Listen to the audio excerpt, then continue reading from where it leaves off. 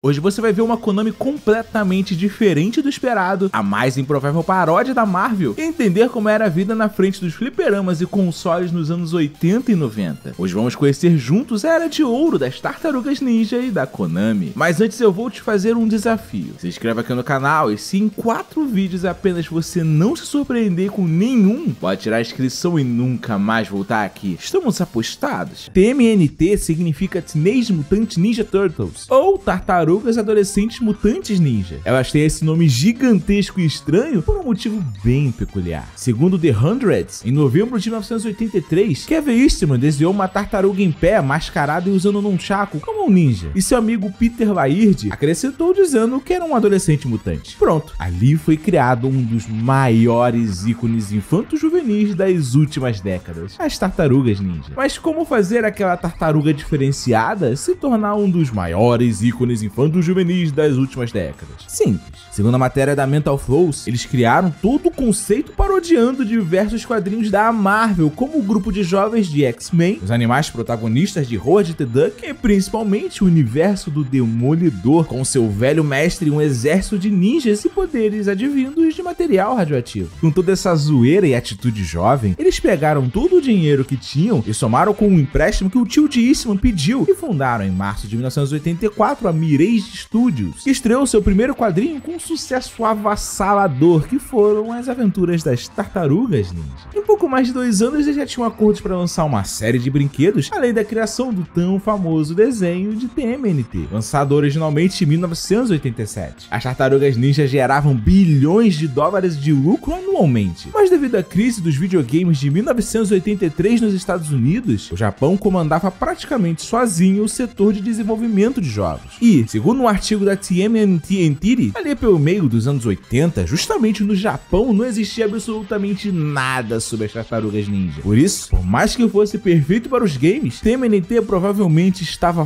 fadado a não ter seu próprio grande jogo. E foi aqui que tudo mudou. Como comentou a Tech Times, aquela era uma das melhores fases criativas da então uma das maiores líderes mundiais de games, a Konami. E assim que o desenho das tartarugas estreou nos Estados Unidos, ela viu o potencial dele e adquiriu os direitos para criar jogos baseados na série animada, mesmo sem saber se no futuro ela daria certo no Japão. Loucura? Mais do que isso. Na verdade, a companhia ainda não tinha feito uma compra sequer de direitos de marcas de terceiros para criar jogos dessa forma. Eles literalmente apostaram muito alto, justamente naquelas estranhas tartarugas adolescentes de nome gigantesco. Uma ação corajosa de quem naquela época visava principalmente qualidade ao invés de apenas dinheiro. O objetivo da companhia era aproveitar a força da marca TMNT nos Estados Unidos para garantir vendas e ao mesmo tempo tentar apresentá-la para vários outros públicos, principalmente o japonês, obtendo assim os dois principais mercados mundiais de videogame de uma só vez. Então, para isso, a Konami traçou um plano ainda mais ousado e arriscado que a compra dos direitos. Não só apostar fazendo um jogo das Tartarugas Ninja, mas sim dois, ao mesmo tempo e programando para plataformas diferentes, visando fazer ambos darem certo separadamente e assim alcançar o máximo de pessoas possíveis de uma só vez, tentando lucrar com quem já conhecia as tartarugas, enquanto divulgam elas para quem ainda não conhecia. Uma manobra ousada, mas que, convenhamos, tinha tudo para dar errado. A primeira parte do plano se concretizou em junho de 1989, quando foi lançado o Gekikami Ninja Den, que significa a lenda das tartarugas ninjas radicais. Sim, a Konami mudou o nome para tentar fazê-las ser mais atrativas para o diferente público japonês. Quando o game foi divulgado na edição 73 da Famitsu, em abril de 1989, as tartarugas foram apresentadas pela primeira vez em uma grande mídia em terras nipônicas, sendo explicadas como uma espécie de Kamen Rider para os americanos, comparando o gigantesco sucesso comercial e de audiência que os heróis americanos e o japonês possuíam com as crianças da época. O jogo foi um sucesso gigantesco, vendendo incríveis 4 milhões de cartuchos em todo o mundo. Um número absurdo para os padrões dos anos 80 e se colocando entre os 11 mais vendidos da história do NES. Segundo o livro The Ultimate History of the Video Games, volume 1. O problema é que esse grande número foi construído basicamente apenas nos Estados Unidos. Pois em vários países, principalmente no Japão, as tartarugas ainda não existiam fora daquele jogo. E isso pode ser devido à grande rejeição dos japoneses a qualquer coisa feita nos Estados Unidos, fruto do que aconteceu durante a Segunda Guerra Mundial, o qual ficaram de lados opostos. Poucos meses depois, em outubro de 1989, a segunda parte do plano nasceu da crescente força dos beat'em ups. O Tartarugas Mutantes e Adolescentes Ninja Arcade foi lançado no embalo do jogo irmão e tendo tudo de melhor que a tecnologia dos fliperamas poderia oferecer na época. Gráficos lindíssimos, cutscenes que remetem ao desenho e várias interações de cenários e muito mais. Mas o que mais chamou a atenção foi a possibilidade de jogar o game com quatro amigos ao mesmo tempo, cada um sendo uma tartaruga. No Japão, mais uma vez, o nome foi trocado para Super Tartarugas Ninja, que é algo mais similar aos nomes dados aos produtos de heróis em terras nipônicas. Mesmo assim, o arcade não entrou na lista dos mais jogados e nem teve muita divulgação por lá. Porém, a Konami compensou isso com uma tática para facilitar a distribuição do fliperama em países mais pobres. Ela lançou uma versão do arcade mais simples, para apenas duas pessoas, custando menos do que a versão para quatro, se tornando assim um grande sucesso sucesso no ocidente. Nos Estados Unidos ele virou uma febre, se tornando o mais jogado e mais lucrativo do país no ano seguinte. Isso se deve também ao fato de que o clássico primeiro filme das Tartarugas Ninja foi lançado poucos meses depois, em março de 1990, e fez um grande sucesso também, se tornando até aquele momento o filme independente de maior bilheteria da história do cinema americano no fim de semana de estreia, impulsionando ainda mais as vendas de gabinetes e de fichas do arcade de TMNT pelo mundo, o que obrigou a Konami a ter que contratar uma empresa terceirizada para construir com ela os fliperamas, pois a gigante dos games não estava dando conta da demanda de máquinas solicitadas. E guarde bem essa informação, porque ela será muito importante daqui a pouquinho. Essa situação criou um momento inusitado. Tirando o catálogo oficial da própria Konami, raramente você encontra revistas japonesas da época falando sobre os jogos das tartarugas ninja. Basicamente, na época não havia divulgação, entrevistas ou fotos de bastidor de algo não japonês, e isso só complicava as coisas ainda mais para Konami, pois ela investiu na compra dos direitos, mas os games que ela fazia não tinham apoio e repercussão massivos no país onde eram feitos, o maior do ramo. Então a AC Turtles Team, equipe de desenvolvimento de jogos das tartarugas na Konami, tinha a responsabilidade de produzir os games no Japão e torcer para que eles fossem sucesso nos Estados Unidos, ou seria difícil eles continuarem com o trabalho. Uma pressão e tanto, mas a perseverança deu certo. O sucesso em terras americanas foi tão grande que a Konami teve que fazer um porte das Tartarugas Ninjas de arcade pro Nintendinho, agora chamando de Teenage Mutant Ninja Turtles 2 de arcade game. E sabe o que aconteceu? Só para você ter uma ideia da repercussão nos Estados Unidos, a marca Pizza Hut negociou com a Konami a vinculação de publicidade da rede de pizzarias dentro do jogo, com direito até a cupom de desconto em pizza no manual da fita. Esse game é tão grande que, segundo a Gama Sutra, uma versão de TMNT de arcade emulada para Xbox 360 vendeu quase um milhão de cópias apenas em 2011. Isso sem contar as vendas para PlayStation 3, mostrando que o plano deu certo. Com esses sucessos, a Konami tinha a prova de que não só poderia, como deveria investir alto nas Tartarugas Ninja nos anos 90. E por isso decidiu aumentar a produção para fazer algo ainda maior e melhor. Só que aumentando ainda mais mais a aposta. O corajoso plano de fazer dois projetos ao mesmo tempo foi abandonado, e dessa vez a ideia era criar três jogos de TMNT ao mesmo tempo. Começava então a produção do clássico lendário supremo que fez a infância de muita gente. Tartarugas Ninja Turtles in Time. Praticamente toda a AC Turtles Team continuou. Durante o desenvolvimento, o projeto se chamava TMNT Time Travelers, ou Tartarugas Ninjas Viajantes do Tempo. Mas, infelizmente, mais uma vez, não houveram divulgações ou entrevistas com os desenvolvedores japoneses sobre a produção do game. E por isso essa equipe e as histórias de bastidores sobre como esse clássico amado foi feito são praticamente desconhecidas. Mas dessa vez isso aconteceu provavelmente por um bom motivo. Durante a produção de Turtles in Time, o game chegou a ser testado antes do lançamento em casas fliperama japonesas, mas a Konami decidiu sequer lançar o arcade no Japão e simplesmente direcionou todo o estoque para os Estados Unidos e o Ocidente. Só que apesar de parecer que isso aconteceu devido a uma suposta rejeição japonesa ao game, ao que tudo indica, na verdade, foi uma ousada e genial jogada estratégica da Konami. Por quê? Eu te explico. O primeiro beat'em up de TMNT foi muito bem, mas lembre-se que o que fez ele realmente estourar de forma duradoura foi o lançamento do primeiro filme das tartarugas. Então pensando nisso, a Konami ajustou a data de lançamento mundial de Turtles in Time para ser simultânea ao lançamento mundial da continuação cinematográfica da franquia, o filme Tartarugas Ninja 2 O Segredo do Uso. Lembra dele? Como no Japão as Tartarugas Ninja ainda não faziam sucesso, nem o primeiro filme tinha chegado no cinema e o segundo sequer tinha data para estrear, ignorar todo o então gigantesco mercado de games japonês e investir completamente no resto foi uma visão louca e muito perigosa, mas que provavelmente fez o diferencial para o sucesso do game, visto que se não houvessem máquinas o suficiente de Turtles in Time disponíveis para os jogadores, o game talvez não seria tão conhecido e jogado como é até hoje. A Konami garantiu que todo fã de Tartarugas Ninjas poderia jogar o novo jogo da franquia. Mais do que isso, ela conversou com a produtora do longa-metragem e conseguiu acesso de forma antecipada ao material e colocou dois novos vilões do filme, Toka e Haza, como chefes de fase de Turtles in Time, além de outras referências ao segredo do uso. Com isso, os japoneses apenas mantiveram a tática bem sucedida de versões de gabinetes com preços diferentes para 4 e 2 jogadores e pronto. A receita do sucesso estava feita. Logo após o lançamento em março de 1991, Turtles in Time já fazia melhor que seu antecessor e tomou o posto de arcade mais vendido da história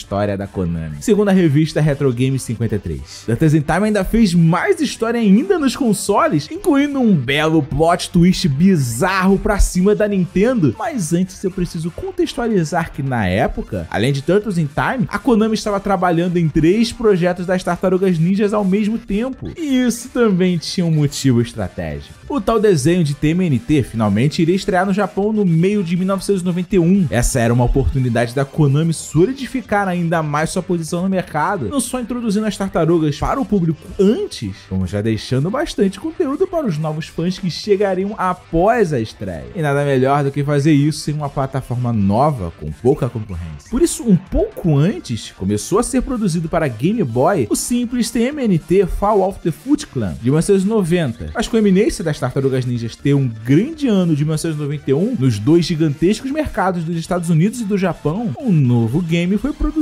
para aquele ano, como a segunda parte do planejado. Esse foi o sucesso TMNT 2, Back from Sewers, que foi muito bem recebido no mundo inteiro. Já o terceiro projeto que trabalhava ao mesmo tempo era TMNT 3, The Manhattan Project, um game feito primeiramente por os japoneses. Manhattan Project foi feito apenas para NES, que ainda tinha uma enorme base de jogadores mundialmente. Apenas no ano seguinte ele foi localizado para o ocidente. Eu joguei muito pro meu Dynavision 3. Ele segue o modelo beat'em up de sucesso e claramente aproveita o sucesso que finalmente as Tartarugas Ninja estavam fazendo no Japão. Pois na época, não só o desenho estreou, como o primeiro filme foi finalmente colocado nos cinemas por lá. Além do Japão, Manhattan Project foi lançado apenas para os Estados Unidos e países pobres ainda com vendas regulares de Nintendinho, mas ele vendeu muito, sendo escolhido como o melhor jogo de NES de 1992. Mas isso gera uma dúvida. Por que lançar um game novo da franquia para o já ultrapassado Nintendinho se o poderoso Super Nintendo já havia sido lançado no mercado? Aí é que está, havia um quarto projeto secreto. Mas esse não estava nas mãos da Sea Turtles Team, mas sim de uma nova equipe conhecida como Yorozuya Juggling Group.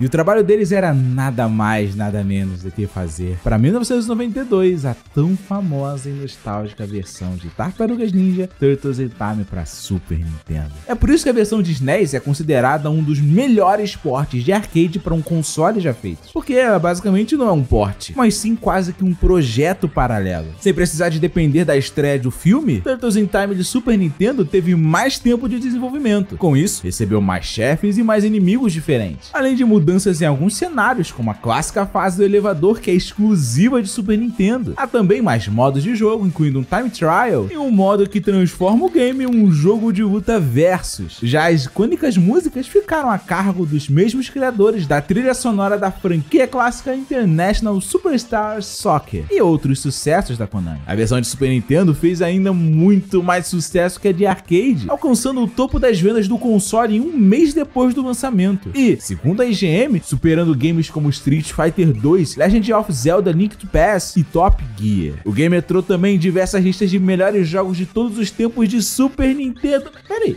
não, não, peraí, peraí, peraí. Tem alguma coisa errada aí. Porque mesmo com todo esse sucesso, Turtles in Time saiu apenas para Super Nintendo. Na verdade, você reparou que todos os jogos para consoles das Tartarugas Ninja foram lançados apenas para plataformas da Nintendo. Isso aconteceu não simplesmente porque a Konami quis, mas na verdade porque ela foi obrigada. Na década de 80, após o crash de 83, causado principalmente pela Atari, a Nintendo basicamente salvou o mercado de games da falência ao lançar com com muito sucesso o Nintendinho. Mas com isso veio o monopólio, e com ele um grande preço pago pelas produtoras, como relatou a matéria do Switchable. Por ter mais de 90% do mercado mundial de games, a Nintendo implementou severas regras inegociáveis de contrato para um estúdio poder publicar um game em suas plataformas, sob a alegação torta de que queria manter a qualidade para não terminar como Atari. Por isso, se alguma empresa quisesse lançar um jogo para o líder absoluto NES, ela não poderia lançar para mais nenhum outro console, transformando todos os estúdios e jogos basicamente em exclusivos forçados. Mas quando a SEGA chegou no mercado com o seu Mega Drive e sua publicidade agressiva, finalmente houve uma concorrência à altura, pois ela não só conseguiu uma grande fatia do mercado, como ela era muito mais amigável e flexível com os estúdios. Inclusive eu já falei bastante aqui para quem é inscrito do canal sobre essa guerra, como a Nintendo tentou usar Mortal Kombat para proibir jogos que não fossem exclusivamente para crianças. Eu vou deixar o link do vídeo no final deste aqui. Mas com a ascensão da SEGA, as empresas como a Konami utilizaram brechas e artifícios para conseguir publicar seus jogos nas duas plataformas sem se tornarem alvos dos até hoje famosos advogados da Nintendo. E foi assim que o primeiro jogo de console das Tartarugas Ninja, não lançado para algum Nintendo, estreou em dezembro de 1992. TMNT High Stone Heist é a versão de Turtles in Time para Mega Drive, mas com outro nome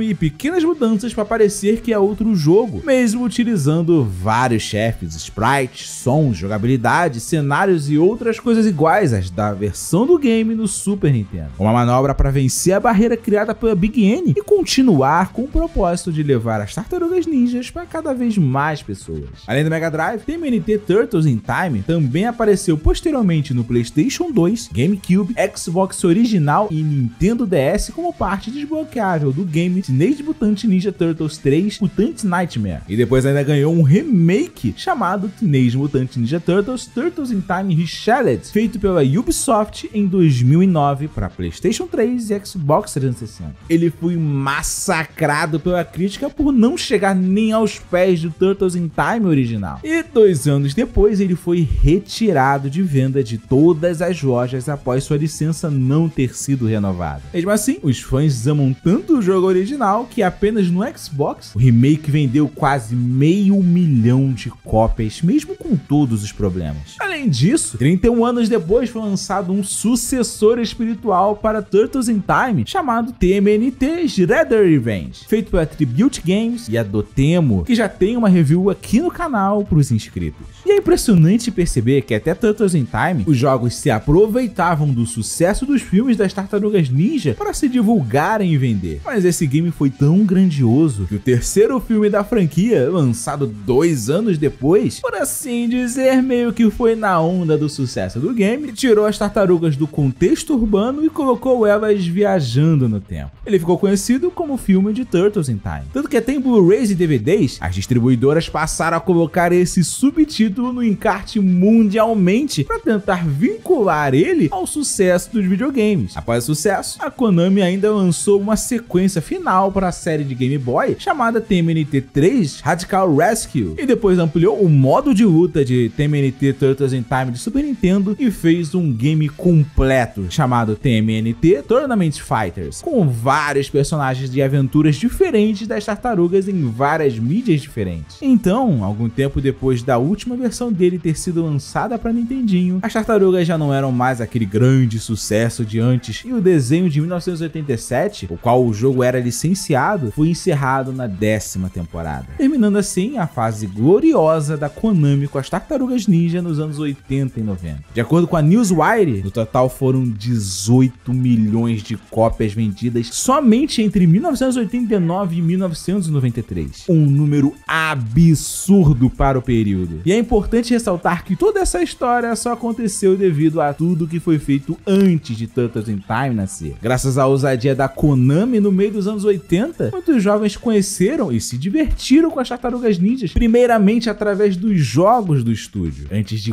qualquer outra mídia aparecer para eles, contribuindo em muito para a TMNT se tornar uma febre gigantesca em vários lugares do mundo, principalmente no Japão, onde a franquia se tornou uma das poucas produções estrangeiras a não só conseguir ser transmitido na TV, como a fazer sucesso lá, em um país que raramente permite isso. Além disso, após o sucesso do licenciamento de Tartarugas Ninja, a Konami investiu ainda mais para levar outras marcas da cultura pop para os videogames, trazendo nomes como os Simpsons, G.I. Joe e X-Men, basicamente mostrando para essas e outras marcas que ainda valia a pena acreditar no mercado de videogames, mesmo após a crise da Atari em 1983. Então, se não fosse a coragem dessa velha Konami, muitos jogos famosos como Marvel vs Capcom talvez sequer existiriam. Quando era um garoto lá no meio da década de 90, eu estava na casa do meu falecido bisavô em Morro Agudo, em Nova Iguaçu, aqui no subúrbio do Rio. E a minha avó me deu uns 10 reais para deixar em paz. Aquele valor era meio alto para a realidade da época, porque o plano real não tinha sido lançado. Naquele tempo eu já conhecia os jogos das Tartarugas Ninja desde o Nintendinho, mas eu sabia que no fliperama era diferente. Não só o jogo em si, mas o desafio de valer o dinheiro das fichas e tal. Quem é daquele tempo sabe o que, que é isso. Então tava decidido. Fomos meu irmão, um amigo e eu empolgadíssimos para um bar ali perto zerar Tartarugas Ninja Turtles in Time. Chegando lá, ainda achamos um garoto aleatório e eu pude ter a raríssima moral de falar: pode vir, hoje é por minha conta, eu pago. Pra quem não tinha muita coisa, essa era uma sensação surreal. Por dezenas e dezenas de fichas, jogando os quatro juntos como uma pequena plateia em volta nos acompanhando fase após fase, até vencermos o destruidor com muita emoção. Quando finalmente surgiu até a final, a gente não entendeu nada que estava escrito nela, mas isso não importava. A alegria na época de conquistar o direito de ver o final de um game no fliperama, que você mesmo venceu, era algo raríssimo e já valia muito mais do que qualquer centavo pago. Foi inesquecível. Juntos voltamos para casa muito felizes e doidos para contar para todos os nossos amigos que tínhamos terminado no fliperama sensacional Tartarugas Ninja Turtles in Time.